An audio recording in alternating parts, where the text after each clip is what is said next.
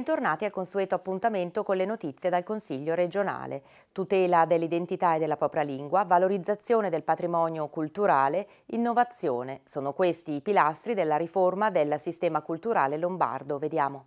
Tutte le leggi regionali sulla cultura sono state riorganizzate in un unico testo, frutto di cinque mesi di lavoro della Commissione Cultura presieduta da Luca Ferrazzi.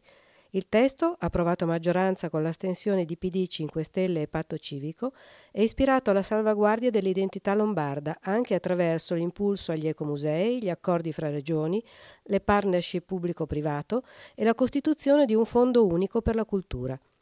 Fra i temi più discussi, la valorizzazione e la tutela di quella che viene definita lingua lombarda, in tutte le sue varietà locali, attraverso attività, pubblicazioni, spettacoli e ricerche.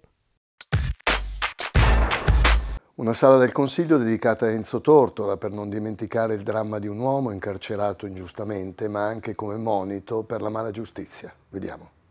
L'ufficio di presidenza del Consiglio ha voluto dedicare alla memoria di Enzo Tortora, il popolare giornalista scomparso quasi 30 anni fa, la sala interviste presso l'aula di Palazzo Pirelli.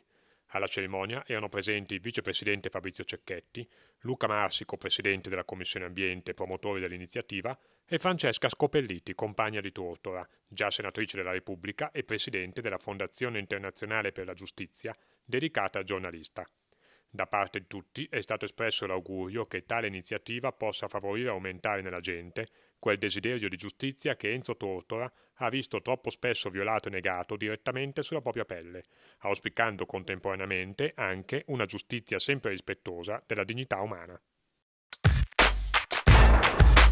Lì si festeggia il 2 di ottobre, ricorrenza degli angeli custodi. Sono i nonni, gli angeli custodi moderni, figure fondamentali per la società e la famiglia, per la cura e l'educazione dei più piccoli.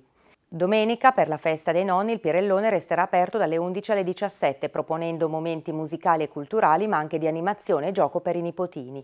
Testimonial della giornata sarà Renato Pozzetto, lombardo e nonno doc, scelto con un sondaggio sul nostro sito Lombardia Quotidiano, rimasto online oltre un mese, che ha visto il testa a testa tra l'attore e l'allenatore Giovanni Trapattoni. Nell'occasione ricordiamo che sarà possibile anche visitare la mostra per i 60 anni di Palazzo Pirelli.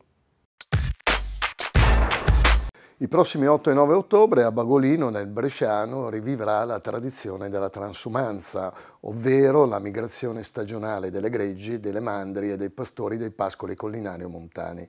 La manifestazione, patrocinata dal Consiglio regionale, è organizzata dalla Proloco e rappresenta un orgoglio della tradizione contadina. Tantissimi momenti in cartellone, con sfilata bovina, passerella dei costumi storici e festival dei cori di osteria. Non mancherà la buona tavola con stand gastronomici e la premiazione per il migliore Bagos 2016, il tipico formaggio locale. E questa era l'ultima notizia, approfondimenti su lombardiaquotidiano.com, grazie per averci seguito e arrivederci alla prossima edizione.